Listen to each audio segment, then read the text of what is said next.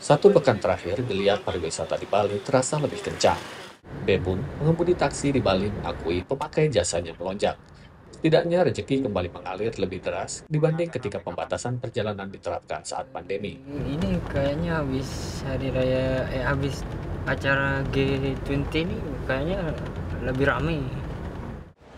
Sejak Bandar Udara Ngurah Rai kembali dibuka untuk penerbangan internasional, pelan-pelan wisatawan mulai kembali datang. Penyelenggaraan G20 seolah menjadi roket pendorong yang diyakini mampu mempromosikan sektor pariwisata lebih efektif untuk melanjutkan tren positif. Sektor perhotelan juga menentuk berkah. Pengelola hotel, khususnya di kawasan Nusa Dua Bali, mengalami peningkatan hunian kamar. uh, ada peningkatan lumayan dari biasanya kita cuma setengah uh, okupansi, sekarang itu full. Jadi setelah ada G20 ini, room kita full.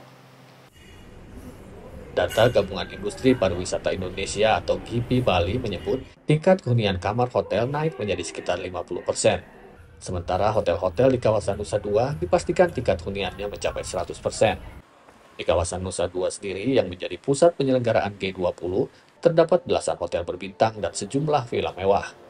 Total ada lebih dari 5.400 kamar yang mampu menampung 21.000 orang. Menteri Pariwisata dan Ekonomi Kreatif memastikan destinasi wisata telah sepenuhnya siap menyambut delegasi G20.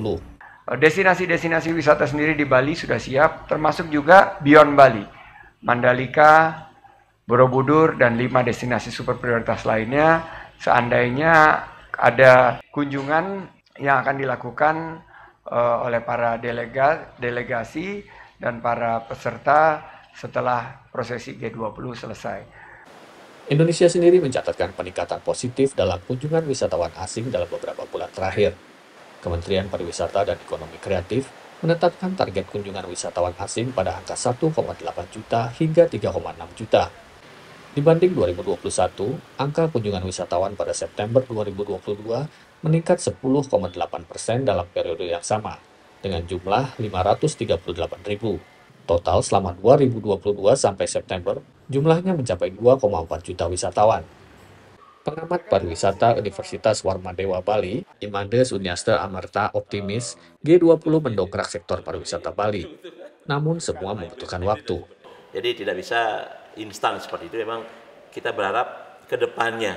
Nah, ini tentu e, momentum yang luar biasa bagi kami dan ke depannya tentu ini akan e, akan menjadi uh, modal awal juga untuk uh, recovery dari perekonomian Bali khususnya di sektor pariwisata. Pemilihan Bali sebagai lokasi penyelenggaraan G20 kata Sunyaste memberi banyak makna. Setidaknya Bali masih bisa dipercaya dan mampu menunjukkan eksistensinya sebagai destinasi terbaik yang siap dikunjungi wisatawan mancanegara. Ajang G20 diklaim menjadi pendorong kuat bagi kembalinya sektor pariwisata Bali. Namun tentu saja butuh lebih banyak upaya untuk membawa Bali kembali seperti sebelum pandemi.